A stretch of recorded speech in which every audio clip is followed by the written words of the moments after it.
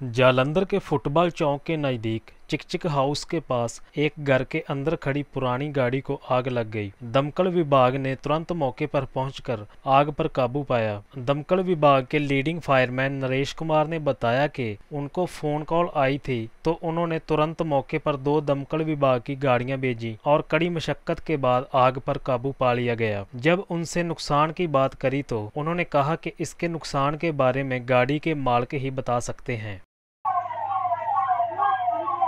ਉਹਨੇ ਆ ਚਾ ਖੋਲ ਲਈ ਜਲਾ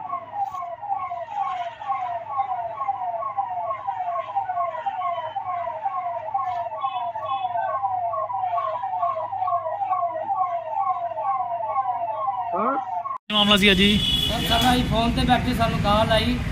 ਕਿ ਦਰਸ਼ਨ ਨਗਰ ਦੇ ਨਾਲ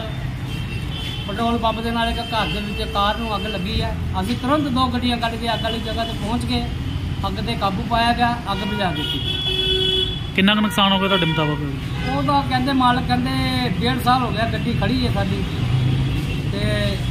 ਇਹ ਤਾਂ ਮਾਲਕ ਹੀ ਦੱਸ ਸਕਦੇ ਗੱਡੀ ਚੱਲਦੀ ਸੀ ਕਿ ਨਹੀਂ ਚੱਲਦੀ ਸੀ ਠੀਕ ਹੈ ਜੀ